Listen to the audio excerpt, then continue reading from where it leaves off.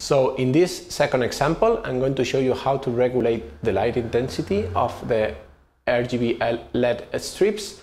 And uh, here we're using the appropriate instruction in Facilino to regulate the, the brightness. So let's switch to the overhead camera to see how it works. I have already uploaded the code uh, and as you can see here we have the maximum intensity and we have start we are starting again increasing the light intensity progressively. Thank you.